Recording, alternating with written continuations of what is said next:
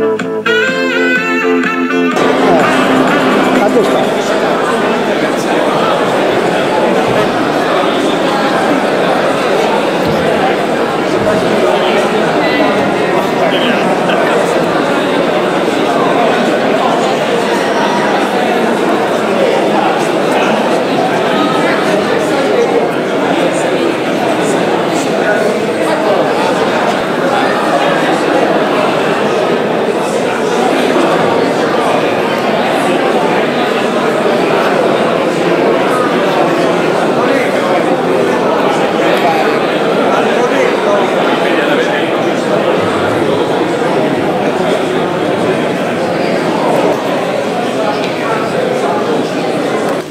Grazie di essere qui, è un momento importante, noi ogni anno come Associazione Giornalisti Salernitani ci vediamo.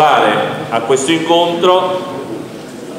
Grazie anche alla diciamo, iniziativa del nostro Presidente Enzo Todoro eh, di dare un riconoscimento a colleghi che si sono salernitani ovviamente, che si sono segnalati particolarmente o nel, nel corso dell'anno, nel corso della, del- della carriera. Eh, do la parola al Presidente Todoro. Grazie, un applauso.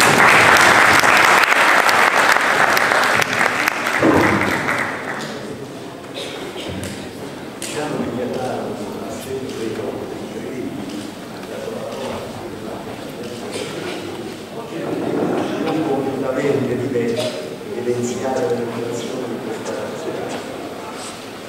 Ringrazio tutti coloro che hanno voluto partecipare a questa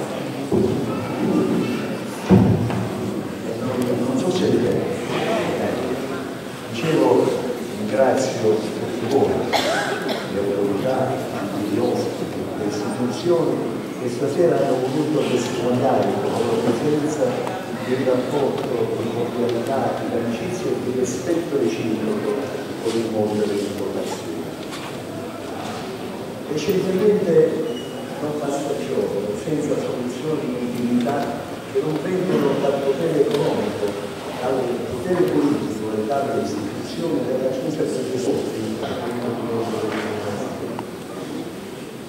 come tanti altri non ci identifichiamo, io sottoscrivo un patto scellerato con il silenzio pericoloso.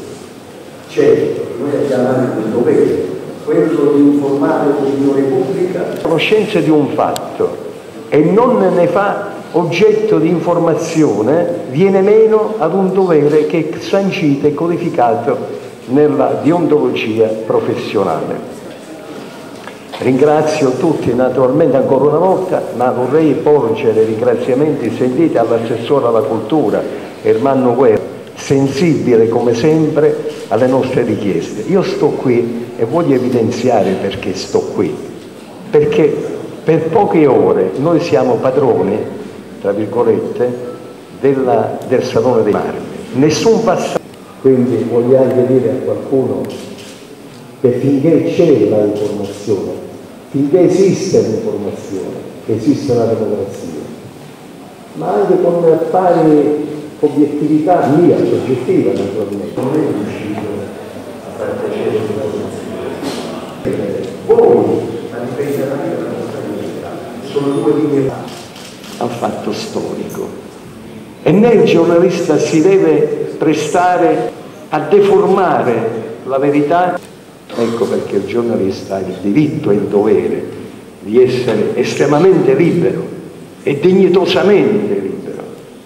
Di una crisi assolutamente impensabile. Le grandi testate oggi sono alle prese con una crisi economica. Non c'è più pubblicità, ma oltre a questo ci sono anche delle pulsazioni.